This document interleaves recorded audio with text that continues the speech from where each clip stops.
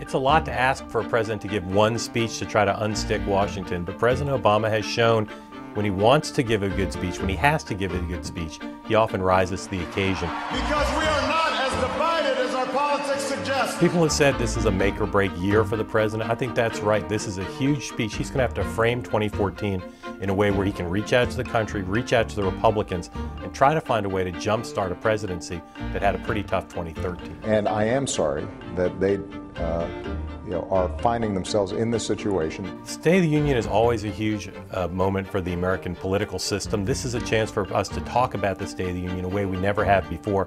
Live coverage of the President's speech, as well as conversation among some of the smartest people at Time Magazine about what's going on, not just with the Obama presidency, but with the country and the world.